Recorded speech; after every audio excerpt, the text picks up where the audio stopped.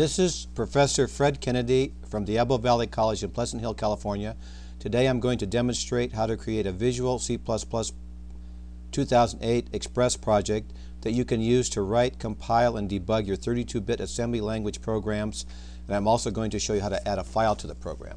To create a new project, click on File, New, Project, expand the Visual C++ selection, click on Win32, click on Win32 console application, and enter the name of your project here. I'm just going to call this Proj 1.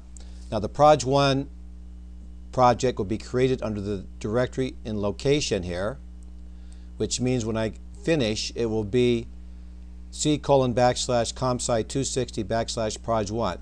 You can put your own location directory name in here, and if the directory is not created, it will be created.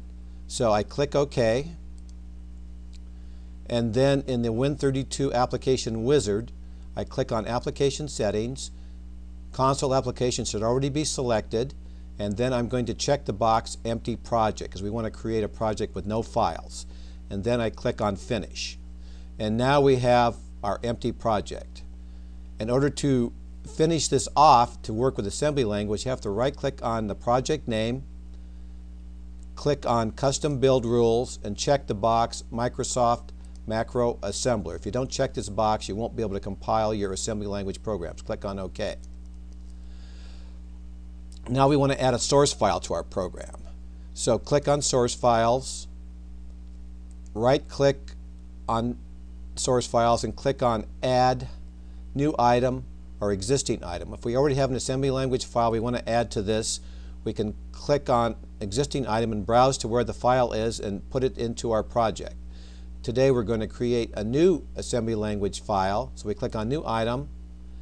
Once again, expand the Visual C++ selection, click on Code, click on CPP file, and put the name of our file in here. Even though we selected .cpp file, we can create an assembly language file by typing the name here and call it any name you like. I'm just naming it after my project. I'm going to call my file proj1, but the important part is to add on the .asm extension here. And if you don't add on the .asm extension, it will add .cpp, which you don't want. The location of the file will be under our project directory c colon backslash comsci 260 proj1 here. Click on add. The editor pops up. We have a blank document where we can start, start typing our code and we're all ready to go here.